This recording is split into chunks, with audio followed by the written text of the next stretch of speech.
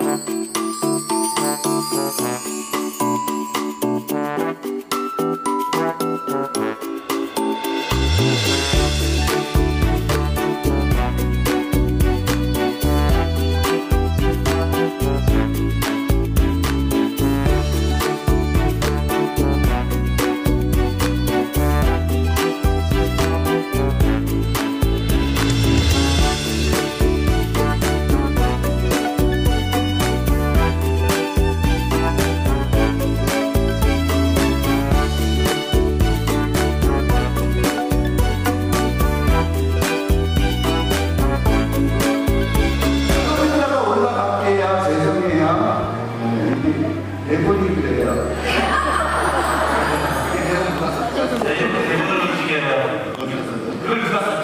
누가 썼을까?